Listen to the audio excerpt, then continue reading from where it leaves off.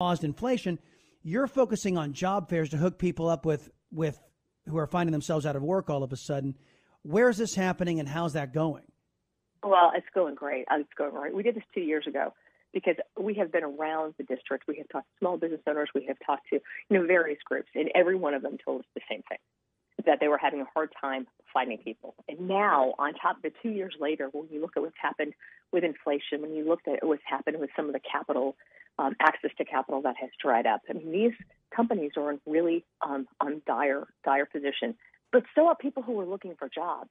So two years ago when we did this, we only had a few weeks to be able to plan it. We had 250 businesses that came out, and we had between four and 5,000 people who came out and looked for a job. Now, we've had a few more weeks to plan. We've had one of them under our belt, but it's doing something pragmatic again in the district. I don't have to ask Mother May I of anybody from DC, but we're doing this on August 7th over at the Irving Convention Center from 11 to 3.